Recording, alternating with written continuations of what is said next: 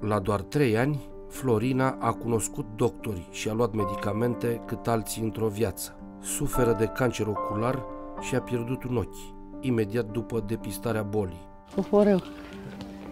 Foarte rău. Nu vreau să mi-aduc aminte.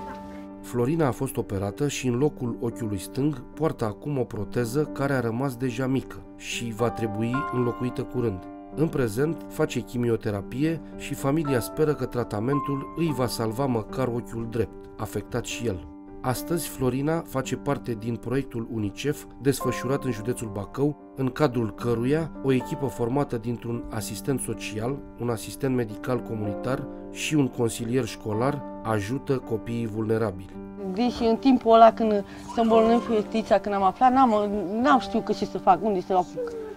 Și ele mi-au făcut actele, ele m-au ajutat ca să le fac. M-au ajutat foarte mult și ele de acolo. Și cu vorbi, și cu...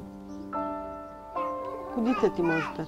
Trimite acum un SMS cu textul copil la 8844 și donează 2 euro în fiecare lună. Ajută-o pe Florina și alți copii ca ea să fie susținuți de profesioniștii locali și să aibă acces la tratamentele de care au nevoie.